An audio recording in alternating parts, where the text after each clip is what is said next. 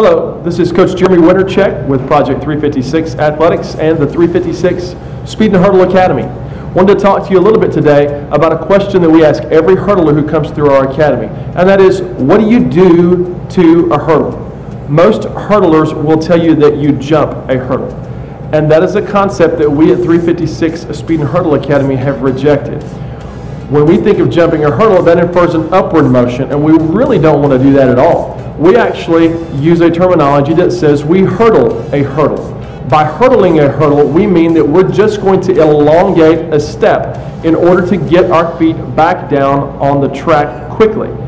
You see, the reality is, at the end of the day, we win the race with our feet on the track and not in the air. So if we navigate the hurdle in such a way as to hurdle it instead of jumping, it gets us back down the track so that we can continue to accelerate throughout the race.